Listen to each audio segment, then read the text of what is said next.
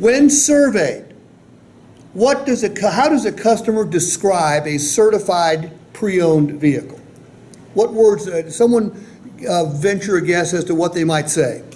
Like new. Like new, um, no. Uh, well, I- they- it's, it's probably in there, Pre-loved. pre-loved. Yeah, that's exactly pre-loved. Isn't that what it is? Now I gotta, now I gotta cut that out of the damn video. Uh, No, w- w- the, the question was, how do you describe a certified vehicle? Thousand consumers, what was, what was the pre, predominant words used? Warranty. It's been, no, that's what I would have thought. I would have thought warranty would have been included. It wasn't. It was the car's been inspected, fixed and repaired if necessary, ergo, it's a better car. Really simple when you think about it. I would have bet a dollar to a dime they would have brought up warranty. They don't. So when you're talking about a Motor Trend certified car, you gotta say, hey, look, it's certified, and here's what it has to go through to be certified. It has to go through a very rigorous inspection process. Now, do you, in your, do you, uh, Roberto, do you guys have uh, used car folders? Yeah, we do. Do they have the inspections in those used car folders? We do.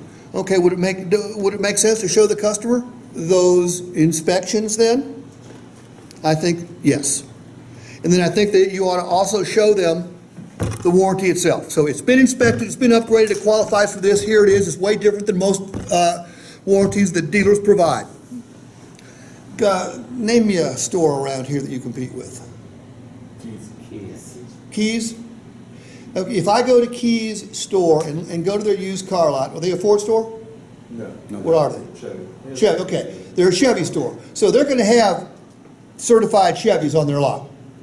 Are they gonna have certified Fords, Hondas, Nissans, Toyotas? No, they're not. So here, here's a big difference.